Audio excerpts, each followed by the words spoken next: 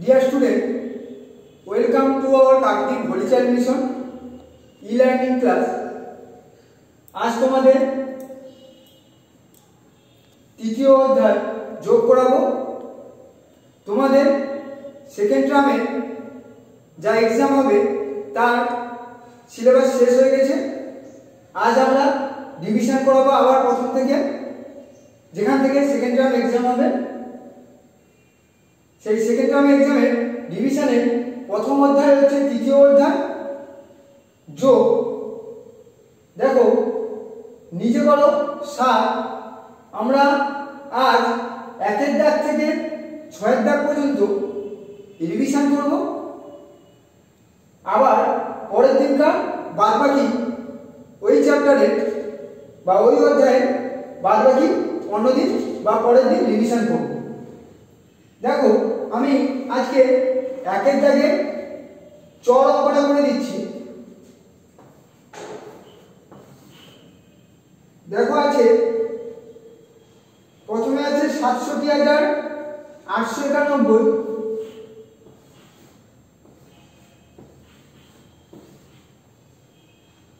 তারপরে আছে শুধু পঁচানব্বই। দেখো পিছন থেকে আমাদের বসাতে হয়, তাই পিছন থেকে পাঁচ, তারপরে নয়।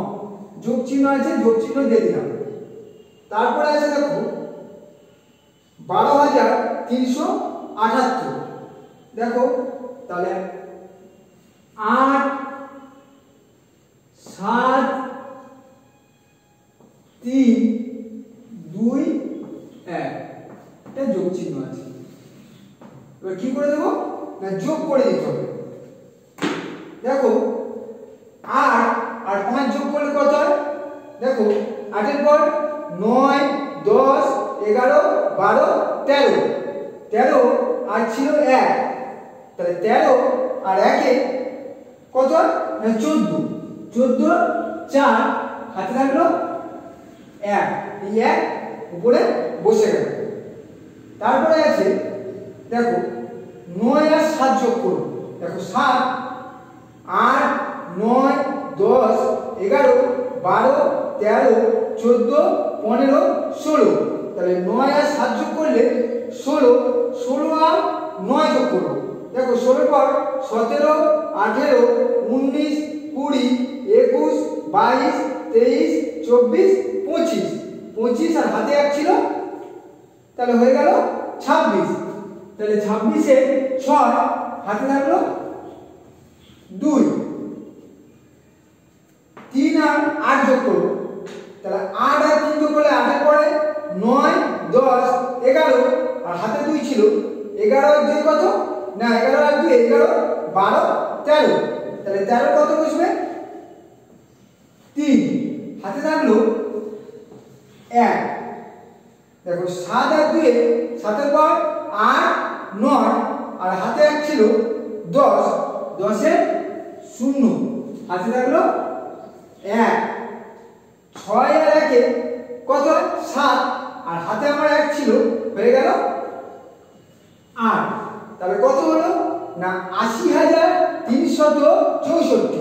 তাহলে লিখে ফেলব, অতএব নির্ণেয়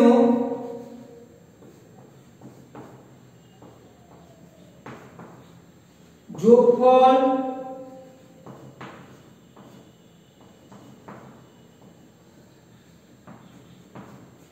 সমান আশি হাজার তিনশত চৌষট্টি। এবার আসব আমরা টপ দেখে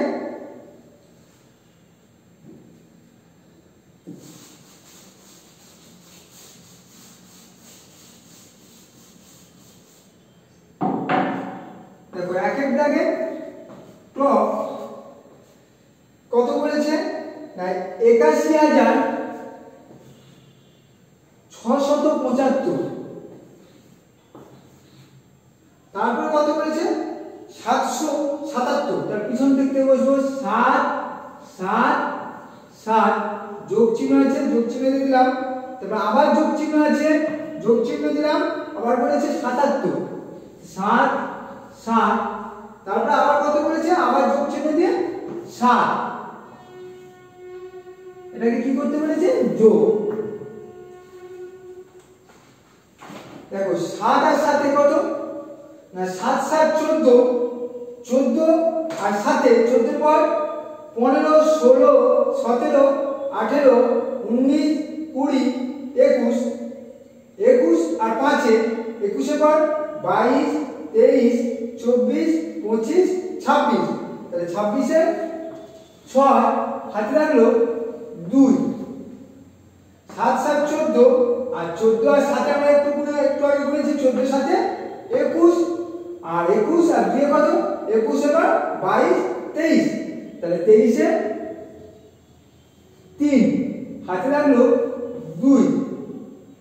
সাত আর ছয়, সাতের পর আট, নয়, দশ, এগারো, বারো, তেরো। তেরো আর দুয়ে তেরো পর চোদ্দ, পনেরো। তাহলে পনেরো, পাঁচ, হাতে থাকল এক। এক আর একে দুই। আর আটের আটের সঙ্গে কিছু নেই বলে? তাহলে আট করতে আট। তাহলে কত হলো? না, বিরাশি হাজার পাঁচশত ছত্রিশ। তাহলে অতএব নির্ণেয় যোগফল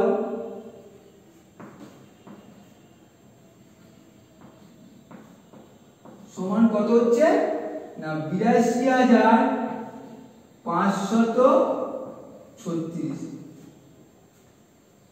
দেখা গেছে, এবার আসো আমি একটা ভাষার অঙ্কে দেখো, তিনের দাগে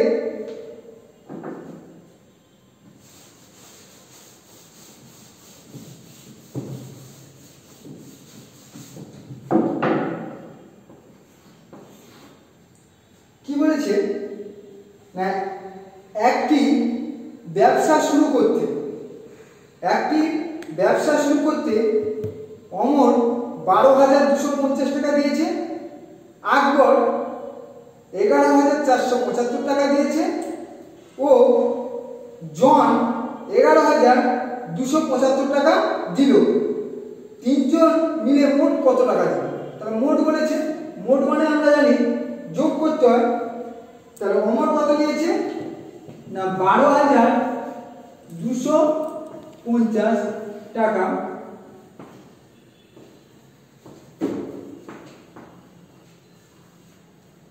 আকবর দিয়েছে এগারো হাজার চারশো পঁচাত্তর টাকা। এগারো হাজার চারশো পঁচাত্তর টাকা।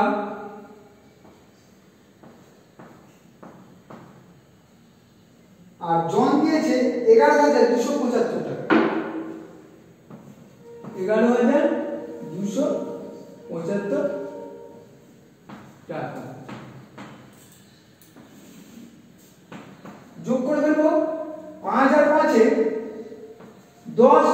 দশ কি শূন্য বসল হাতে থাকল এক সাত সাত চোদ্দ চোদ্দ আর পাঁচ কত চোদ্দোর পর পনেরো ষোলো সতেরো আঠেরো, উনিশ আর হাতে আছে কুড়ি।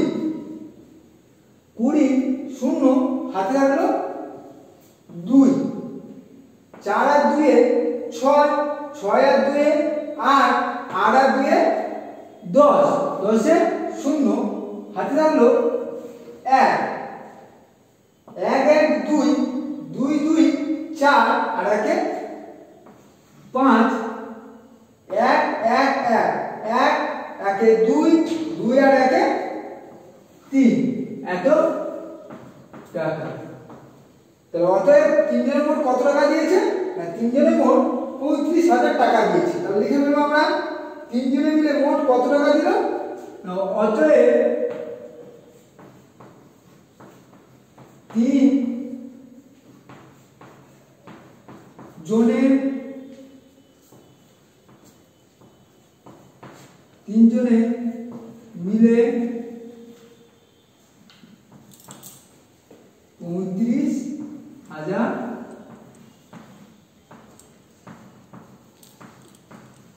টাকা দিল